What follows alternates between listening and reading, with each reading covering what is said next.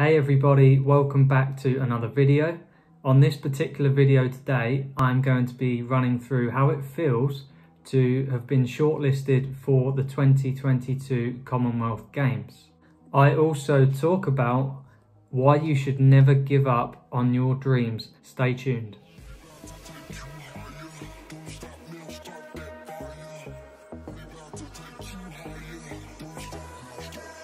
On Monday, the 11th of January 2021, I was allowed to let people know that I had been shortlisted, if you like, for the 2022 Commonwealth Games.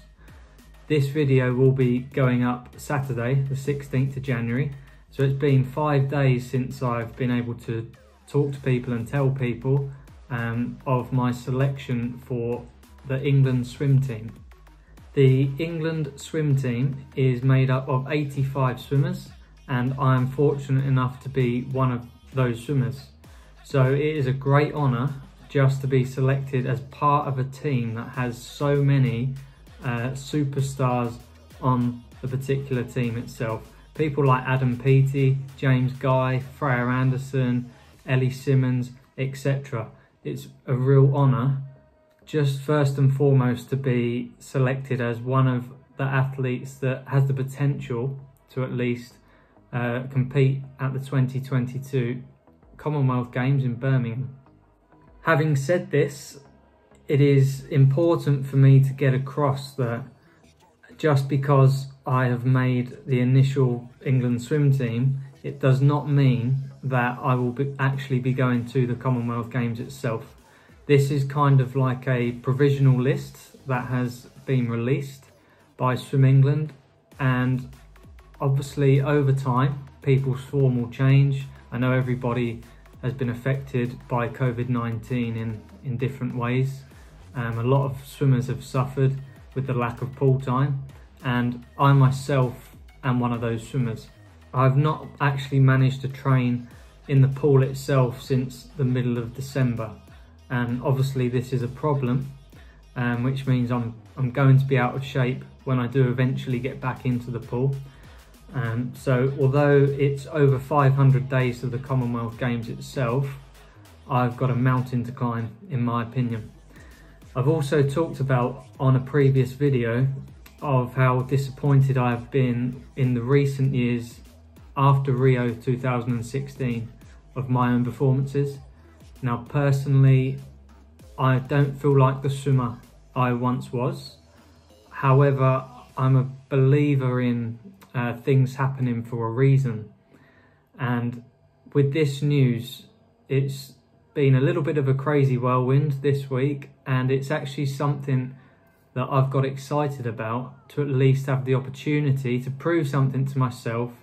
Um, because, like I've said, since 2016, after the Paralympic Games, I've not made a team. I've not made a big team. And this is something that is obviously disappointing to me. But something has come along, an opportunity has arisen, and I would like to challenge myself to see if I can make the, the final selection for the Commonwealth Games. I'm looking at this opportunity as a something that I can get excited about again. I've got a goal to aim for. I've really been keeping fit and in shape in this particular lockdown in the UK. And since the what before the 1st of January, I've been really going hard on workouts at home. So I've had a really good few weeks of training, but obviously that does not mean that I will be able to swim fast in the pool. It is up to me to build back into the pool when I can and hopefully start to uh, turn the screw and heat things up a little bit. I'm looking at this opportunity with the attitude of I am number 85 on the, the list of a squad that could potentially be whittled down to 40 or 50 swimmers, both able-bodied and disabled or para swimmers. Uh, so if, if I'm looking at this with this particular attitude, I've got to make sure I go from number 85 and work my way up and prove a point to other people uh, on the selection panel. So yes, it's a great honour and I'm really privileged to at least be thought about um, as a swimmer that has the potential at least to be at the Commonwealth Games in 2022. Nothing is set in stone. There might be some great swimmers that are off form. There might be some uh, less known swimmers, in my opinion, like myself, that can step up. And I'm just going to focus on being the best version of me that I can possibly be. And whether I do or do not make the team, I'm going to at least give it my absolute everything. So, yes, I'm excited. Um, I wanted to share this news with you all uh, today.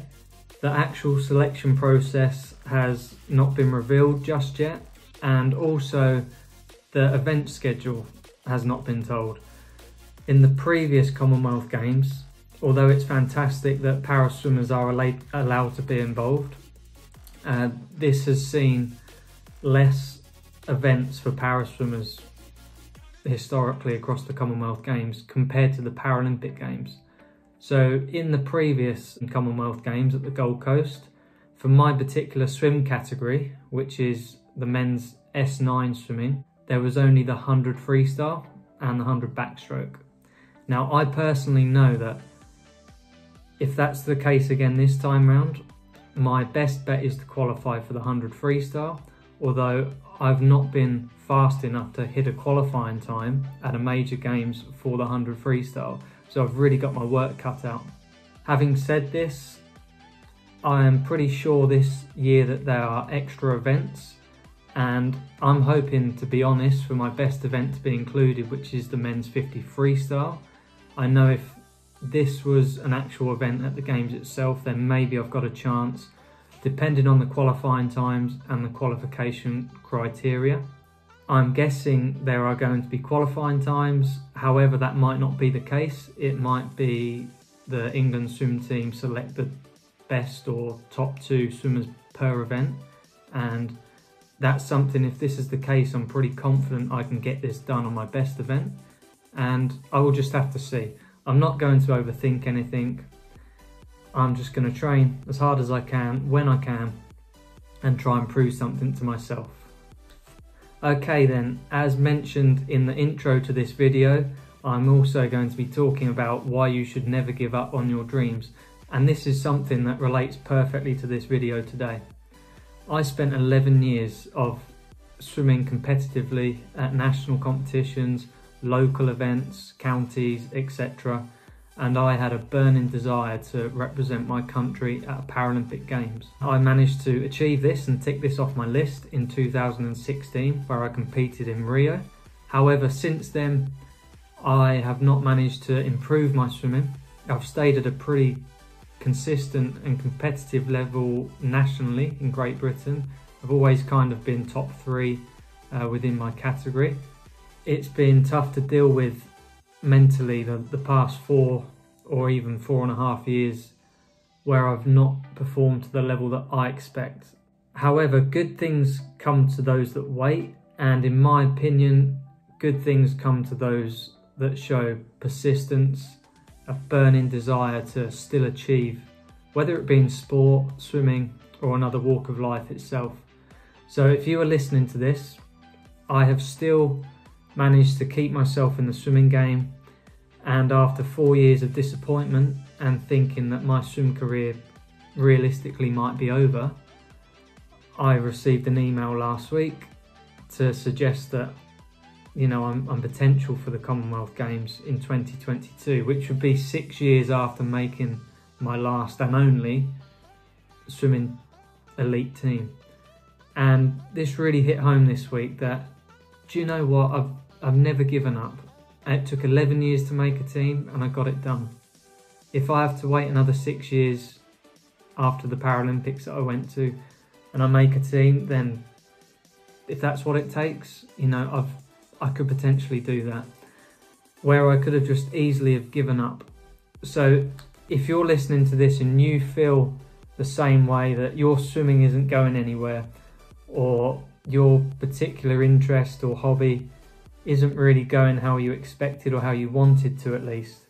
Um, I want to be here for you to, to demonstrate that you can still make something of yourself. And that might not be in the same sport or that might not be in the same job opportunity etc. But I'm living proof that if you keep working and you keep believing, have this self belief, have some passion in your heart for what you do, and never give up, you can potentially get back up there or get to the level that you really desire to be at. And if anybody is listening with a disability as well, again, I want to be here for you and just show you that I have cerebral palsy. I've tried to not let it get in the way of my life. Um, I've always fought to, to be the best I can possibly be. If you have a disability or not, if you have goals, I suggest you get your head down, you keep believing in yourself. Don't let people tell you you can't achieve anything. And sometimes fate has a funny way of, you know, dealing dealing with your situation. And I'm just in a thankful position at the moment that fate seems to have done this, and I have an amazing opportunity to at least try again and to make an elite team for England. So I hope you keep well. I hope you like this video. If you like this video, then please give it a thumbs up. That would be really helpful to me. And subscribe to my channel if you want to see more swimming content. Stay safe and I will see you in the next video.